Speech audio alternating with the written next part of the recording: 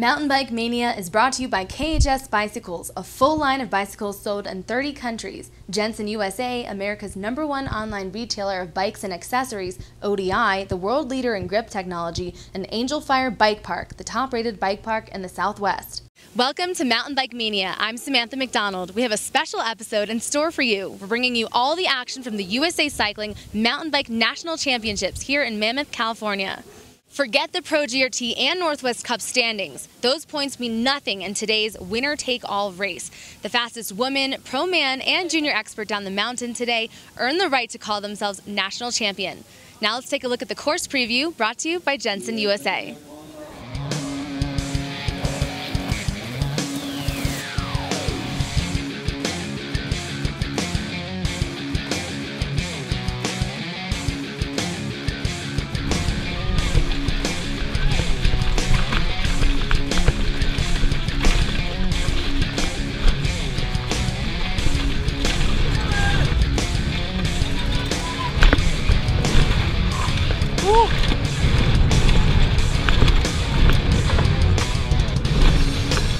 So, Mikey, tell us what seeding's all about.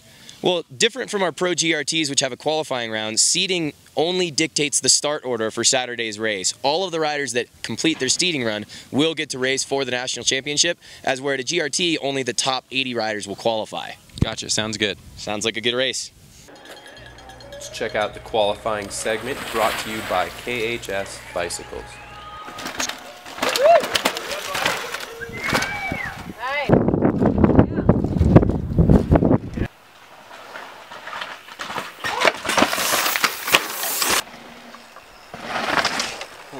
My, oh!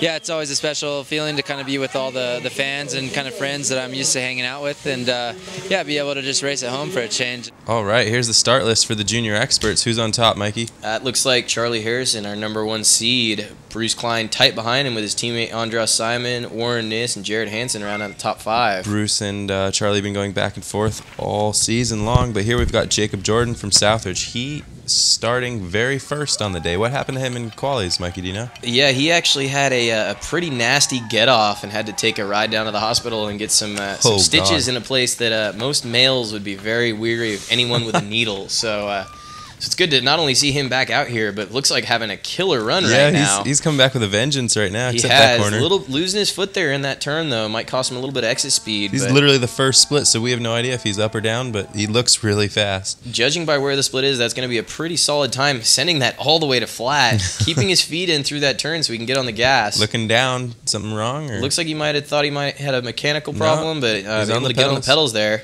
seems fine, yeah. Looks to be still able to throwing down a huge run. Maybe he was looking down to make sure his stitches were still in place. there you go, diving down into the step down. Last couple corners here. yep, a few corners, and then we're going to drop into this new section for the year called the elevator shaft. Just a huge pumicey loose chute. They More like just carved it out for this race, right? Yeah, new fast time set to beat though is 336.31. That's going to be a really fast time if our, qual- our uh, seeding times yesterday were any indication. Yeah, definitely. Well, who's next? This looks like one of the in-cycle top five qualifiers, Jared Hansen. So he's from Corona, where there's no rocks, but uh, he gets to race at Fontana a lot and good training. So let's check him out here. Yeah, the the elevation change a little bit different though between Fontana at a, about a thousand feet and here at uh, Mammoth, which is just over nine at the base, I believe. Looks like he's getting through the tricky parts all right, though.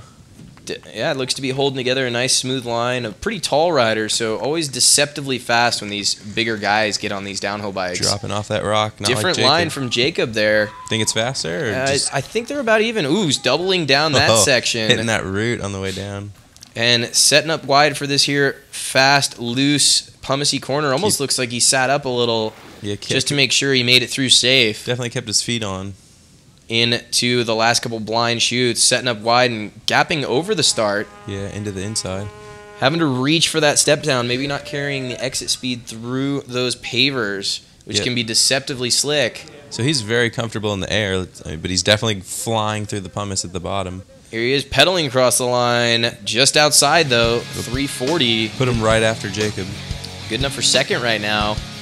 I think that's just about the same time he ran in seating, so track solid. definitely deteriorating Oh, through the weekend. Here's your neighbor Warren from uh, Mid Fremont, but rides mostly down in Santa Cruz, California. And Great to see him on a program here with that intense Palmer program. Didn't he win slalom last night? He did. He actually should have uh, some pretty tired legs after some tough battles in the dual slalom But against his teammate Josh Gibb.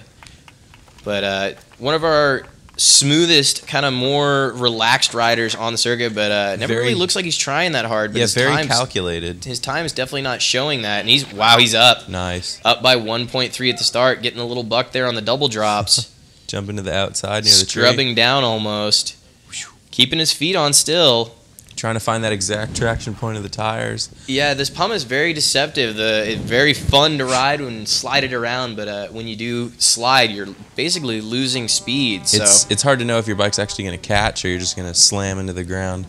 yeah, it's it's deceptive kitty litter is what a lot of the riders compare it to. So getting really back seat on this elevator Wow. shaft chute, Flying down. cross it. the line. What's it gonna be? New Yep. leader. That'll be first. just about a second up on Jake. Look at so that Jake having if the qualifying's right, Jake had about 20 riders between him to sit in that hot seat. So Yeah, and he's and he was still there until uh, Warren. But we've got defending national champion for the 15, 16 year old category, first year in the junior experts.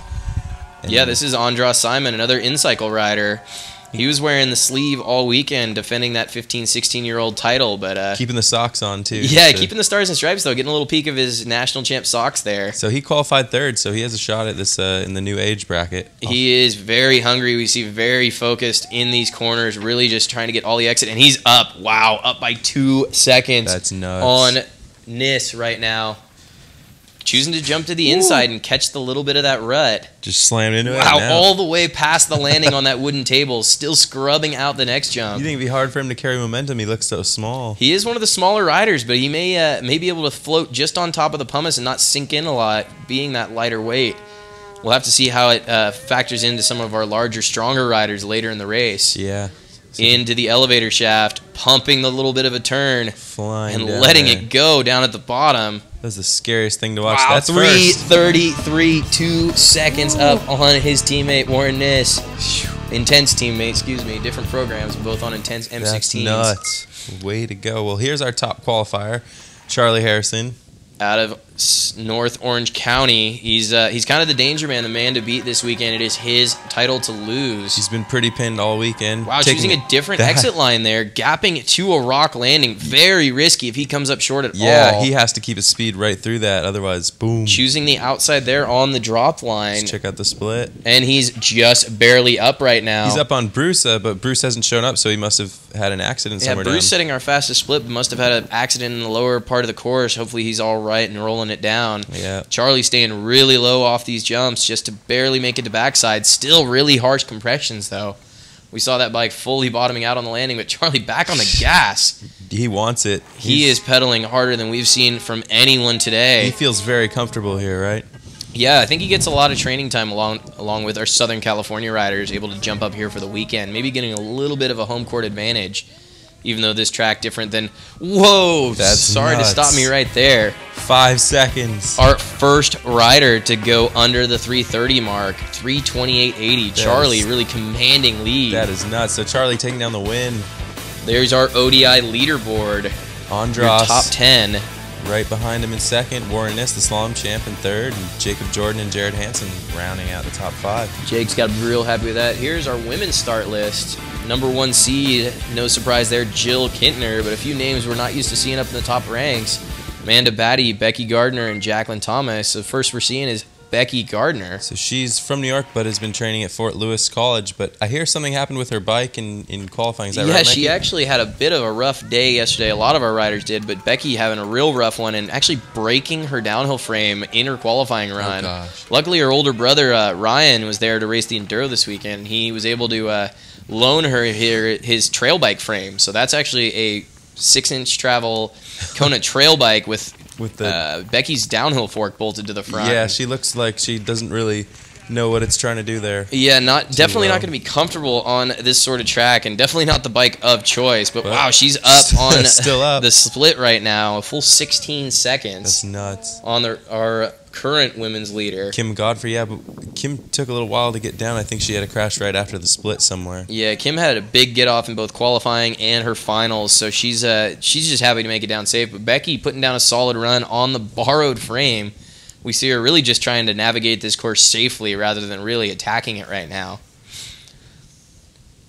She's got a few more corners to go, and then she's going to drop into our elevator shaft. Here she is across the line. Let's check it out. Oh, wow. I think she got Amanda Batty by 0.4. Wow, that is close. That's a very close run right there. Becky choosing to use some of our go around options as well that we saw earlier. So who we got here? Jacqueline Thomas. This looks like another Colorado girl, Jacqueline Thomas, with a great showing yesterday in the dual slalom, putting up a nice battle with Jill and taking home the silver. Nice. We'll see her. She's actually taking the direct bullet rock garden line. Heck yeah. And fighting her way through it. Wow, taking the risky drop exit line. Almost biting her, but making it through safe. Ton of props. That was good looking. So here she is through another one of our rock sections. Really tough going from light to dark there in the You, trees. do you think you should use uh, tinted goggles or clear? A lot of riders choosing to use a tint here just because it is so bright and white. And she's wow, she's up at split She's number up. two on Becky by about four, Four seconds. huh? That's Floating down there. though, That looks good. That may be partly due to her more direct line choice, taking those The more risky but straighter lines on this Mammoth Mountain race Yes, she, course. she kept her speed through the rocks pretty well. And it's it, like you said, it's a lot more straight. Yeah, the riders. Uh, I'm sorry, not the riders, but the actual course builders here choosing to uh, make a lot of different options, both on the track and then with some of the, the what we call go around lines for the riskier sections. Oh Here she is, though, She's well the under that. line. 419. Wow. Only four seconds up at the split, and she was able to add another 15 seconds. What? It looks like. No, I think that's 25 seconds. total. or Yeah, so she was able to add count. a whole bunch of time in the lower section. But here is the woman to beat. It is her championship to lose. Jill Kintner, two-time reigning slalom champion Out and defending downhill champ. Checking out those rocks. Having a little bit of a cautious run through there. Wow, a nollie, Clean exit though, a eh? nollie off the finish there. That's a very risky move, but making it through clean. If her front wheel stopped just a fraction of a second more, she may have uh, had a dirt sample. Well, here she goes, keeping her speed through Yeah, the. Uh, choosing that wide exit line. We saw some of our juniors able to hold some more speed, and she's wow, she's up. that's a 13 That is seconds. a chunk of change right there, almost 14 seconds in the top part of this course, with only a little bit more than a minute left, minute and a half left for our top riders. Yeah, as you can see her sneaking pedals everywhere too.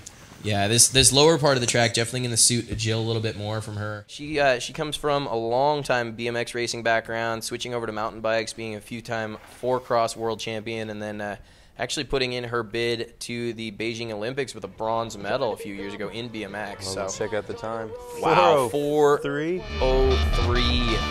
Wow, that actually shows that Jackie Thomas had a very fast lower split, not able to really gain much time on Jill. So But that that was an all Jill show right there. You can see 16 seconds.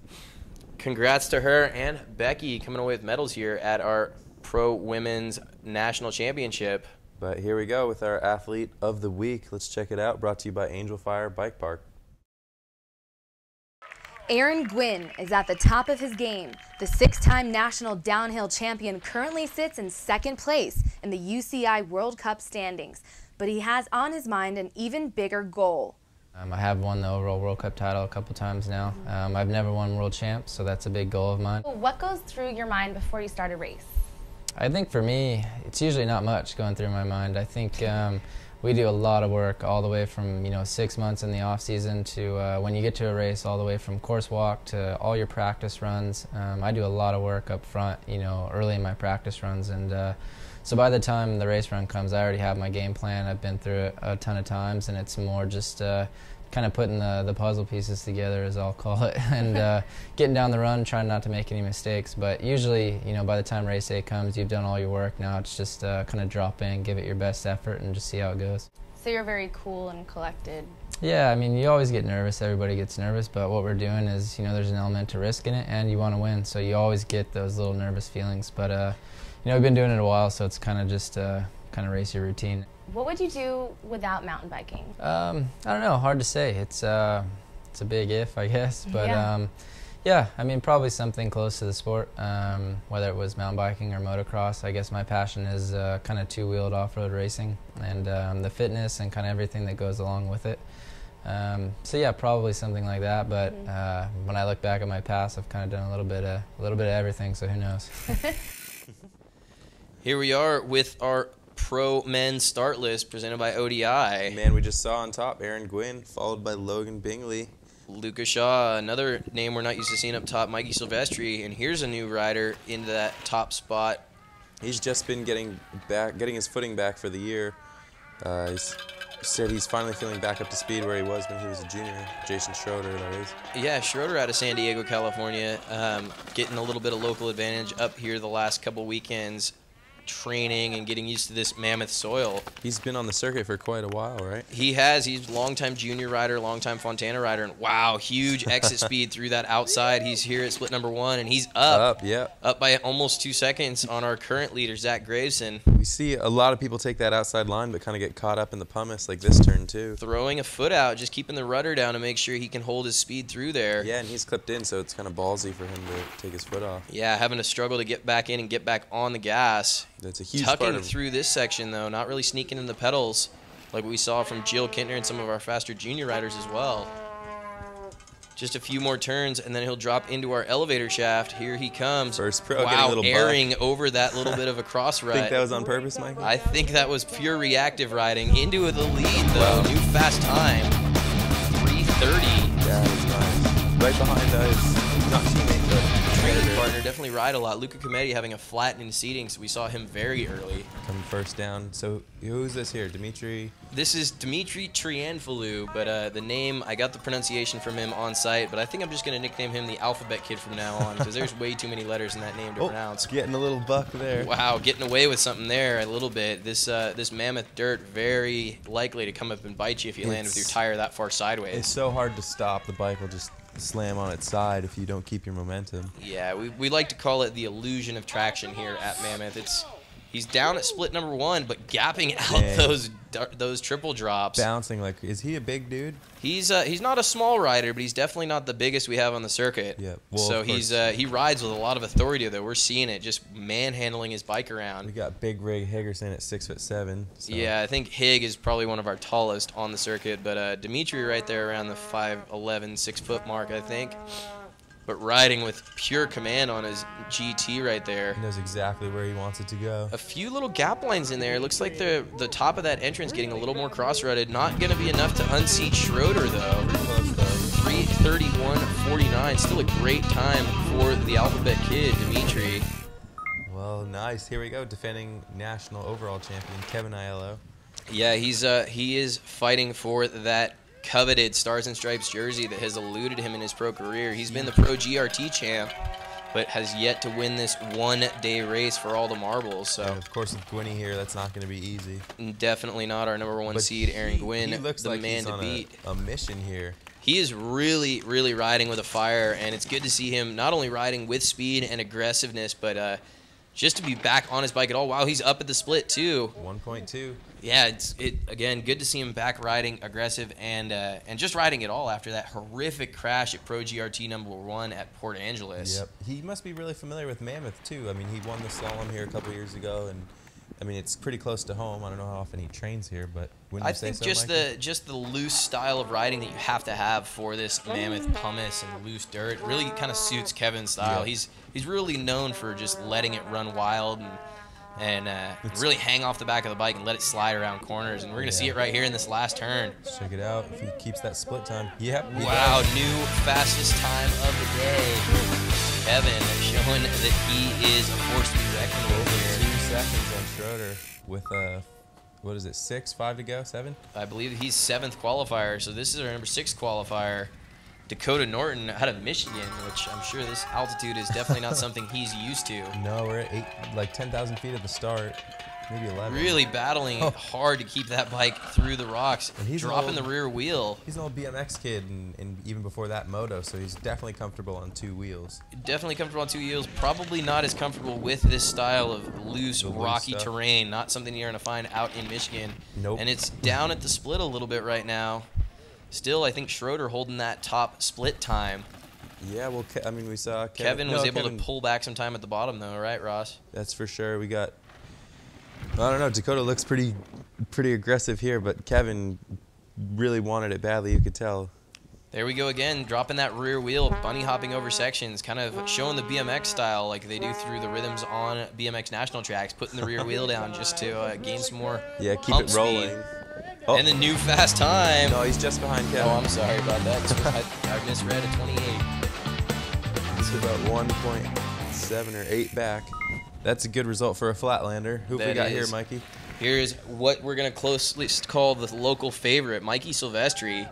Good to see him back out on the national circuit, getting help out from uh, Cam Zink on that YT Industries program. Wow, look at the speed through the That rock garden, Ross. Just straight and fast. He is showing no regard for traction on this course, just letting it run wild. I mean, he's he's been racing here for a bunch of years, hasn't like 10 years? Uh, well, more at, in Tahoe and at North Star is kind of his home mountain. And wow, he's still down at the split over Schroeder. Schroeder had an amazing top section. He, Mikey definitely looks fast, and if anything suits his style, it might be the bottom half. So hang on. We'll Yeah, wow, sending that all the way past the landing, scrubbing that jump super slow, keeping it low and pedals. fast.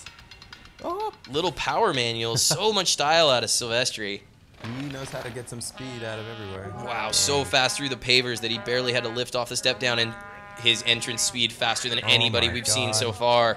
This could be a new fast time across the line. I line. think it is. Oh my God. 323, a full five five seconds. seconds into Kevin Aiello. That is nuts. That is great to see out of Mikey. Look at him over the rocks, just so pinned. Lucas Shaw, all the way from the East Coast. Yep, our number three qualifier, number two overall right now on the World Cup circuit, American wise. That's pretty. And this is first year pro. yeah, so this is his first year out of the junior category, so he's definitely showing he is a force to reckon with. Heck yeah.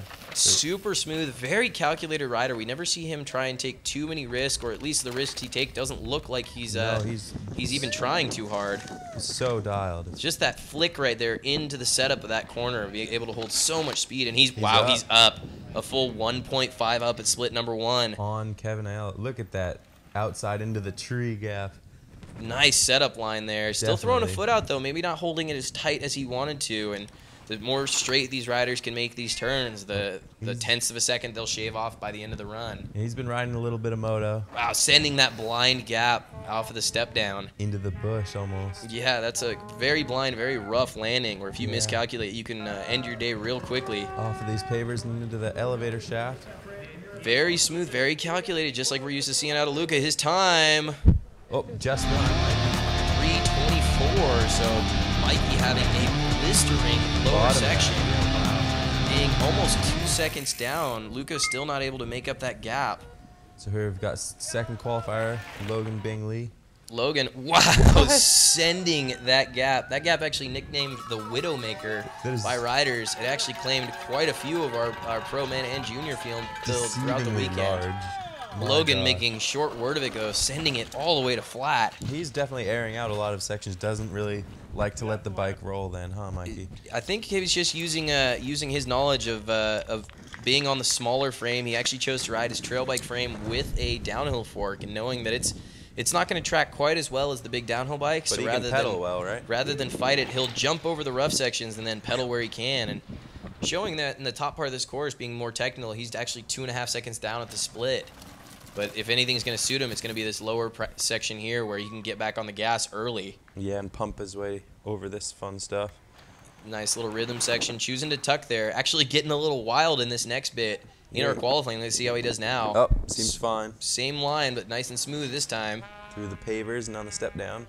Just a few more corners and a little pedal, and he's going to drop into our elevator shaft. He seems to be holding good speed, but Very consistent. only Logan time will tell. Probably in a bid for our overall this year. And not going to be enough. He's just uh, just behind his teammate by only a hundredth of a second. That's that's going to be a tough pill to swallow into fourth right now. Yeah, after qualifying second, I'm sure he's gonna And here is our athlete of the week and the danger man. Aaron Gwin, all the way from SoCal, making the drive just to claim that national championship title. Let's see if he can do it. Is this two years in a row? This would be two years in a row and probably, I think, his third or fourth national title, kind of bursting on the scene and really commanding that top American spot. Mm-hmm. So just the speed that he's able to attack these courses at almost looks like he's not trying as hard, but we Yeah, see like his bike actually working very hard. He's not airing it out. He's not working too hard. He's, but he's definitely going really fast. wow, so much speed through that corner. Still, let's look at our split time. And Luca Shaw. What? Whoa, almost three seconds up at split number one. That's nuts. We did see an amazing lower section though from Mikey Silvestri. Let's see if Aaron can keep it on pace with these loose corners. Aaron clipped in, Mikey on flat, so the benefit really going to Aaron right now being able to pedal, but we see him coasting a lot Yeah. of this. Saving energy. I mean, we're at 10,000 feet. He's Definitely true. Choosing a different line, bunny hopping over into that section, Into the step straighten it out. He's gonna drop into our elevator shaft here in a minute. There he is into view. Wow, rear wheel kicking up, Right. airing over the corner, and so much speed through the bottom of this track across the we go. line. Is that 320? 320.52. No way. Beating his seat time by just over a second. And That's- your new national champion. Well, not new, but repeat from last year. Aaron Gwin commanding. Wow, just by about three full seconds. Great to see though, Mikey Silvestri having a breakthrough ride in second. Lucas Shaw holding it down in the number three spot. KHS boys rounding out your top five. And what was your lesson from today? Um, I think today the challenge was uh, obviously the altitude here. Um, I live pretty much at sea level down in SoCal, so it's uh, it's pretty high up here. So that was tough. And then uh, just the conditions. It's really dry and loose, and uh, you know, so the track kind of changes every lap. So it definitely was tough to uh, put down a smooth kind of full run here. So just happy to uh, put one down, and uh, yeah, the time held up. So I'm happy. What was your first thought when you crossed the finish line and you th- found out you were first?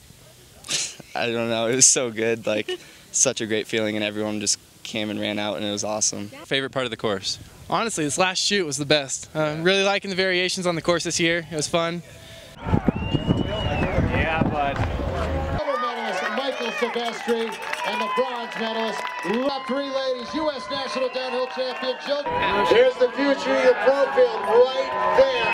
All the winners of today's races, Aaron Gwin, Charlie Harrison, and Jill Kintner, were expected to win. But the second place finishers in the junior expert category, Andras Simon, and in the pro men's category, Mikey Silvestri, were not predicted. That's the beauty of mountain biking. Now the riders will take the cross country trip to Snowshoe, West Virginia to compete in the fourth race in the Pro GRT series. Tune in next week for coverage. For all our crew at Mountain Bike Mania and our sponsors, Jensen USA, ODI Grips, KHS Bicycles, and Angel Fire Bike Park, I'm Samantha McDonald.